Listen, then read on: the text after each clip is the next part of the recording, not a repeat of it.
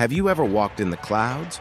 Or seen a mirror so vast that it reflects the entire sky?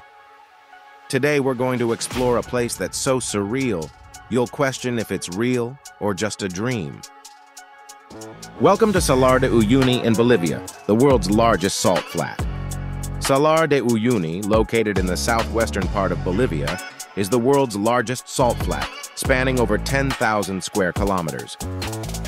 It's like a vast white canvas that stretches to the horizon and merges with the sky. But what makes this place so unique? According to Aymaran legends, the mountains surrounding Salar de Uyuni were once gods. Their tears and breast milk after being separated from their child are said to have created the salt flats.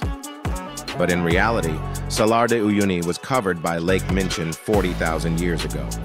As the climate changed, the high salinity water began to evaporate, leaving behind the thick salt crust that we see today.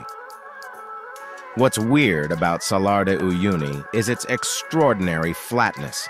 During the rainy season, it turns into a giant mirror reflecting the sky, making it feel like you're walking in the clouds. And during the dry season, the salt crust cracks into hexagonal patterns, creating a mesmerizing natural mosaic. Visiting Salar de Uyuni is an adventure in itself.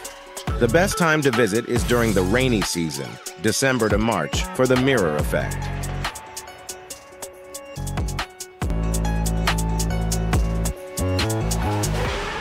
The most common starting point is the nearby town of Uyuni, where you can arrange tours or rent a 4x4 vehicle to explore the salt flat. Most travelers choose to experience the salt flats via a guided tour, which can be anywhere from one to four days.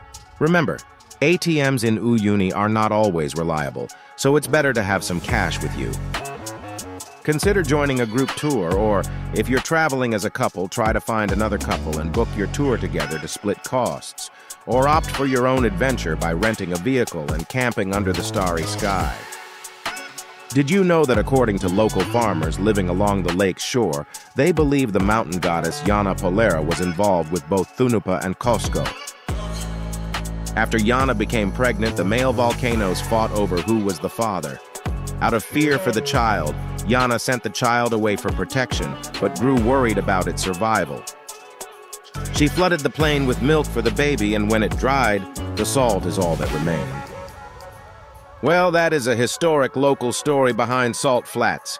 But don't miss out on the opportunity to visit Isla Incahuasi, an island covered in giant cacti amidst the salt flats.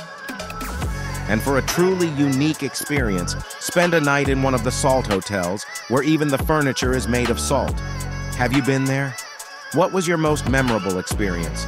Share your stories and tips in the comments below. And if you're planning your first trip, let us know what excites you the most about this surreal destination.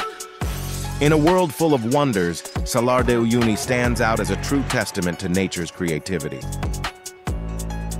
Whether you're seeking adventure, surreal landscapes, or simply a glimpse into the extraordinary, this salt flat has it all and more.